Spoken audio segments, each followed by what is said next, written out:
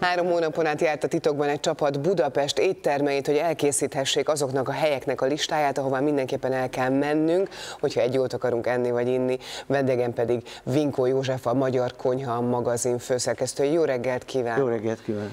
Mit szeretne? Tegeződjünk, magázódjunk? Nagyjából 20 éve ismerjük egymást. Egy ilyen szép nővel mi a mondat vége? Tegeződjünk. Tegeződjünk, nagyon szépen köszönöm. Én Egészen köszönöm. belemelegettünk abba, hogy milyen helyek vannak, meg hogy miket állítottatok össze. 270 olyan hely, ami tulajdonképpen meglepetést tartalmaz azoknak, akik Budapesten, és nem csak Budapesten ellátogatnak ezekbe a helyekbe?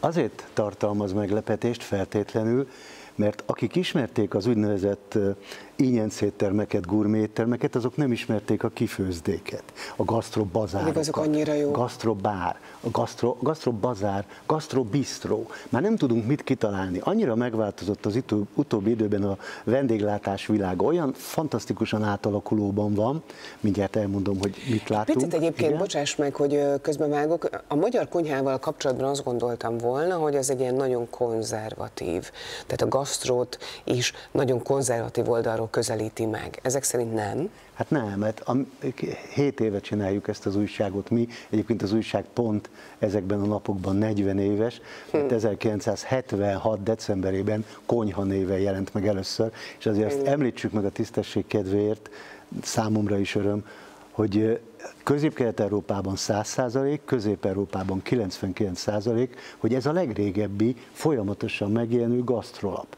A Feinschmecker Németországban tavaly ünnepelte a 40.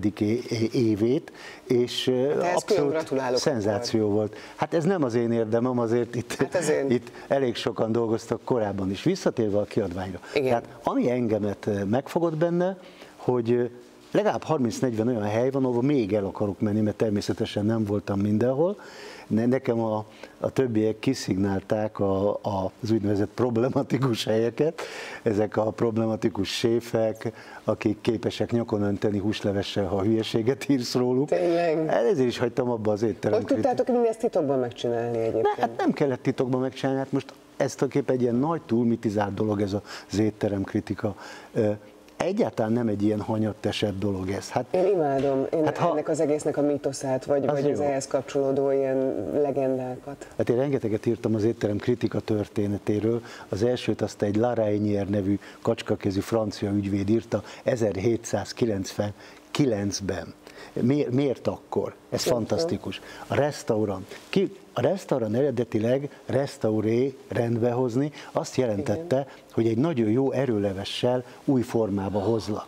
És ki volt írva, ki volt, nem volt még étterem, nem létezett, de ki voltak helyekre írva, hogy restauré, restaurant, ahol ilyen levest lehetett kapni, de semmi mást. Na most, amikor lefejezték sorra az arisztokratákat a nagy francia forradalomban, Igen. kik maradtak állás nélkül? Uha. Hát a szakácsok. Hát megszűntek az arisztokraták, bezárták a palotákat, és egy csomó szakács ezrével az utcára került. Micsoda Ezek szépen történet? ezekre a helyekre elmentek, és azt mondták, hogy adjunk egy kis sajtot, csináljunk egy második fogást, egy harmadikat, és ezekből a helyekből alakult ki a restaurant, az étterem szó. Így született az étterem. 1780 körül kezdődött ez az egész, és 1830-ban már 3000 étterem volt Párizsban. Tehát így jött létre. Hol tartunk mi most egyébként? Tehát itt van ez a kis kiadvány a kezemben. Hol tartunk mi most a gasztro kultúrában Magyarországon? Hogyha Világ, egy össze lehet világviszonylatban? Igen, világviszonylatban. Hát átmenetben vagyunk a gasztrokádárizmus és a pláza gasztronómia között. Ajaj, gasztrokádárizmus igen, és... Igen, hát igen. sajnos, sajnos 70 évig elvágták gyökereinket, ugye a minőség nem számított, mennyiségi szempontok voltak, igen. létrejöttek ilyen ételek, hogy bészínroló, vegyes köret. Tehát a, tehát, igen, elfelejtettük, igen. A, elfelejtettük az articsókát, a cikóriát, a csigát, stb. stb. Aztán erre megkaptuk a félkész termékeket, a pázagasztronómiát, a mélyfagyasztott pizzát és egyebeket. A kettőnek a kettőnek a szorításából kéne kimászni. És ezek a helyek ezt kínálják. Nagyon szépen köszönöm. Hát és én külön köszönöm, hogy én is ezt akkor hazavihetem magammal, és áttanulmányozhatom. Köszönöm Kíváncsi vagyok a véleményed. Köszönöm.